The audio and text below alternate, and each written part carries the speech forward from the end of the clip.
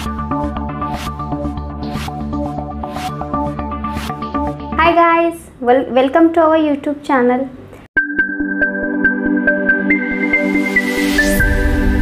Today in this video we are going to learn the arithmetic progression.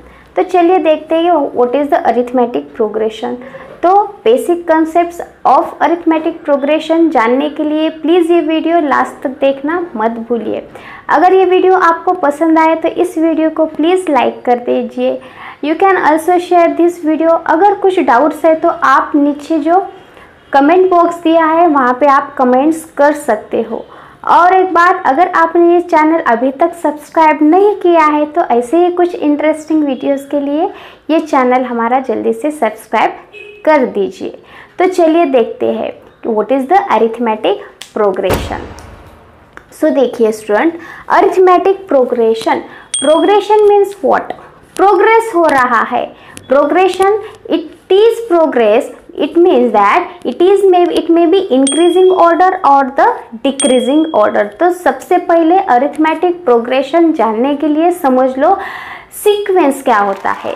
So what is the sequence yes exactly sequence means क्या होता है? There are some numbers are arranged one by one कुछ some according to some rules वो number arrange किए गए हैं in a particular sequence में. Suppose sequence of natural numbers तो sequence one two three four इस तरह के कुछ नेचुरल नंबर अरेंज किए गए हैं तो इसे हम सीक्वेंस कहने वाले हैं.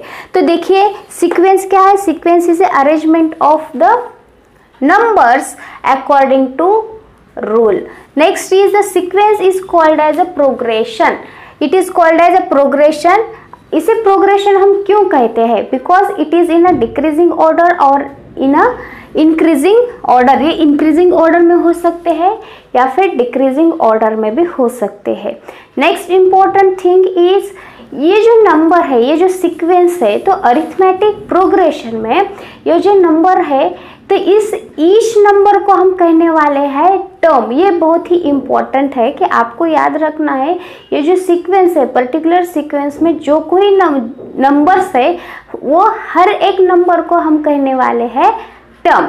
ओके नेक्स्ट इज़ ये जो सीक्वेंस है सीक्वेंस इज़ आइदर फाइनाइट और the infinite so what is the finite yes exactly finite means क्या होता है? वो जो सीक्वेंस है वो सीक्वेंस में जो नंबर्स है वो फिक्स नंबर है। आपको पता है कि उस सीक्वेंस में पर्टिकुलर टेन नंबर्स है या ट्वेंटी नंबर्स है या थाउज़ेंड नंबर्स है टेन थाउज़ेंड नंबर्स है कितने एग्जैक्टली नंबर है?